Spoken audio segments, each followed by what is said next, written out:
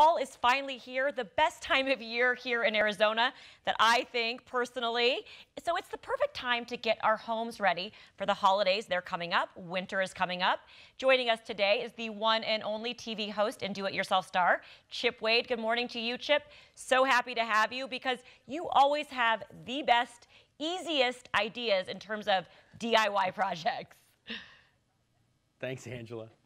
so okay, I, I, do. Yeah, today is today is no exception. Yeah, that's right.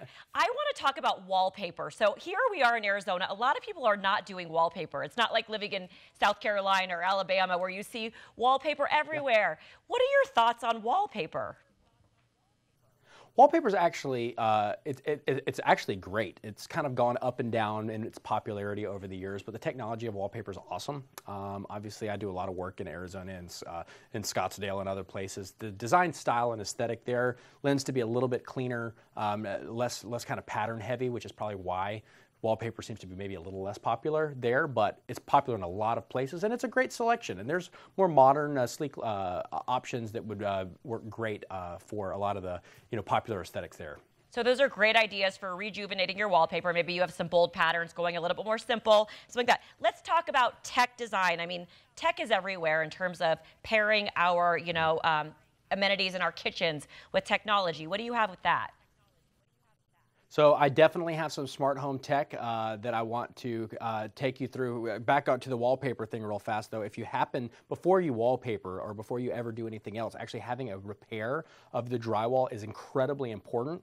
Um, a lot of people don't repair their drywall before they do their wall coverings because it takes all day and you have to let all that stuff dry. But I found the DAP Eclipse Rapid Wall Repair Patch. That is awesome. It takes no uh, spackling, no sanding, no additional tools. You literally take it out of the package stick it to the wall, paint it. You just peel back this little plastic sheet and then paint it one more time and you're done. So literally like no tools. It's really, really uh, magical.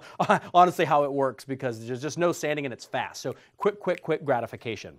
Um, you can get that stuff at, um, at Home Depot right now, which is great. This is making its way into everybody's hardware drawers. Uh, but back to smart home tech, I'm doing a uh, an audit of all of my smart home devices right now, kind of culling out the ones that maybe are a little bit old, outdated, or I'm just not using. Uh, I was actually in batteries plus bulbs the other day, and I was so pleasantly surprised that they had a whole like smart home collection set out where there was all the different styles of stuff side by side so you can really see what is out there they're all wi-fi controlled which the wi-fi controlled stuff is the easiest to set up the highest internet security really, really great, and they all work together, which is nice. They have everything from the uh, video doorbells, um, you know, security cameras, uh, Wi-Fi switches, Wi-Fi outlets, all of those different things.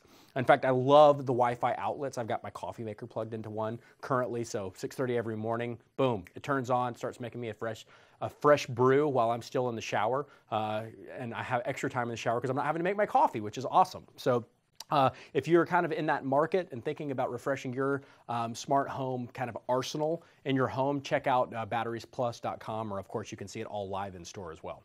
I love that you use the word auditing your house. I mean, I think of taxes, but I never think of doing a full audit in my house. Just a brilliant word.